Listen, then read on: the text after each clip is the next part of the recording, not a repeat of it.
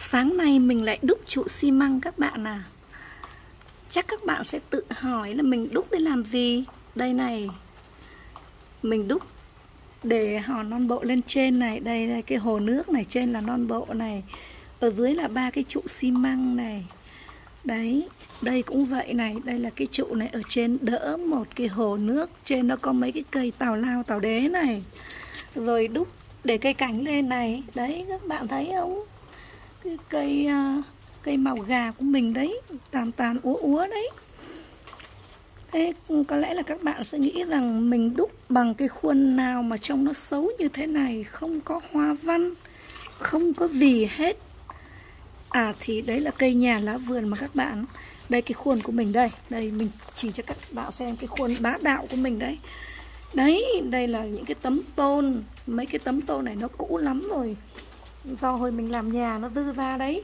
Đấy thế là mình cắt kích cỡ khác nhau. Đây này cao có này thấp có này lùn hơn nữa cũng có này. Rồi mấy cái miếng ngắn ngắn như thế này cũng có này. Đấy đấy là cái khuôn của mình đấy các bạn. Cái nguyên liệu đúc trụ xi măng của mình là đấy bao gồm các cái tấm tôn như thế này. Rồi đây xi măng. Sáng nay mình mới hòa một chậu xi măng đây. À, đây dây vải. À dây vải để buộc. Rồi kể cả những cái kẹp đồ như thế này nữa này. Thế là cái thao tác làm của mình chắc là dễ hình dung thôi vào các bạn? Đây quấn cái tấm tôn này lại. Quấn lại cái cỡ như thế nào đó, tùy mình. Lấy dây vải cột vào, xong rồi bắt đầu hòa xi măng. Mình hòa với tỷ lệ là 4 cát một xi măng. Thậm chí là nhiều lúc là 3 cát một xi măng, cho nó chắc. Sau đó là mình đúc cái trụ thẳng đứng trước cái đã. Đó là ngày hôm trước. Qua ngày hôm sau có nghĩa là sau 12 tiếng đấy mình tháo cái tấm tôn ra. Mình tháo tấm tôn ra rồi xong đó bắt đầu là mình vòng cái tấm tôn nhỏ ở dưới để mình đúc cái chân đế cho nó. Đấy mình đúc cái chân đế. Đó hôm qua mình mới đúc được cái chân đế này. Vài ngày sau khi cái chân đế này nó khô đi thì mình sẽ lật cái uh, cái trụ xi măng này lại và mình sẽ đúc cái mặt bên trên. Đây, cái mặt bên trên như thế này. Đó, đây là một cái trụ xi măng hoàn chỉnh của mình các bạn. Đấy, có chân đế nha. Cái chân đế này đúc hơi bị meo méo rồi. Có cái mặt bên trên nhá cái mặt bên trên thì mình có thể là để các cái chậu cây cảnh to lên được. Cái trụ này mình đúc lâu lắm rồi. Cách đây hơn 10 năm rồi. Lúc đó là Jinlu còn đang học đại học đấy. Mình ở nhà đúc đúc xong rồi để nguyên tại chỗ chứ có khiêng được đâu, bởi vì nó nặng lắm.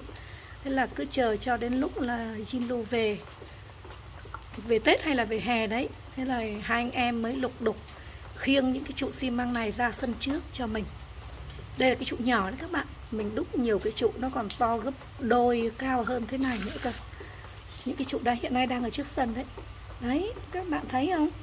Nên là mình đúc sáng nay đây này hôm qua là đúc trụ thẳng rồi đây này. Rồi sáng nay là bắt đầu mới vừa đúc cái chân đế cho nó này. Đấy. Dùng cả cái kẹp đồ kẹp đây cái này đang làm đây. Đó.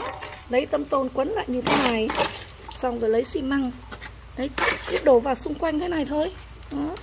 Đến cái độ cao nào mà mình, mình thấy ứng ý thì thôi mình dừng lại. Đó. Đấy các bạn thấy không? Cái tấm tôn nó có sóng cho nên là các bạn thấy cái chân đế nó lãng mạn không? Đó, cái chân đế của mình nó cũng có cái hình sóng đấy. Vui chưa? Đó. Thế thì nhiều bạn sẽ à, nghĩ là thế tại sao không không đi mua đi? Cho nó đẹp, mà lúc làm gì cho nó nó mất công thế này? Thực ra là mình tiếc tiền các bạn ạ, đi mua đắt lắm. Hiện nay là một cái trụ đây, cái trụ cỡ như thế này, ở quê mình người ta bán với gần 100 nghìn. Thế còn trong khi là mình mua có 40.000 xi măng thôi Mà mình đúc được bốn cái trụ này Đấy, một này hai này ba này bốn này. Đó, thì các bạn thấy cái giá thành của trụ nó có rẻ không? Quá rẻ Mà nó lại theo ý mình nữa. Cao, thấp, lớn, bé To, nhỏ thì đấy là tùy mình. Đó. Rồi, cái sáng này trời đang mưa đây Mình đang làm đang làm, tự nhiên hứng chí quay clip khoe với các bạn.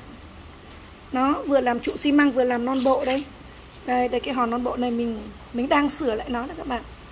Do là làm lâu quá rồi, cho nên là nhiều chỗ mình không ưng ý, nên mình lấy ra mình sửa lại một tí. Rồi mình lắp ghép vào cái khối non bộ lớn của mình. Đấy, để các bạn thấy mình làm có hay không? Có bạn nào bắt trước mình không? Dễ lắm mà. Bao nhiêu năm qua mình đúc hàng chục cái trụ như thế này, cỡ nào cũng có. Đây này, kể cả cái trụ tí hon này cũng có luôn này. Trụ này là không đúc bằng khuôn đâu.